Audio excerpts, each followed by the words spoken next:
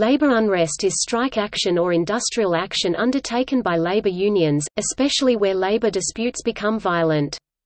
Such a conception of labor action was common in the United States in the 19th century, most prominently among mining interests in the American West, and remained common in the 20th century among communist states, such as the Soviet Union and People's Republic of China.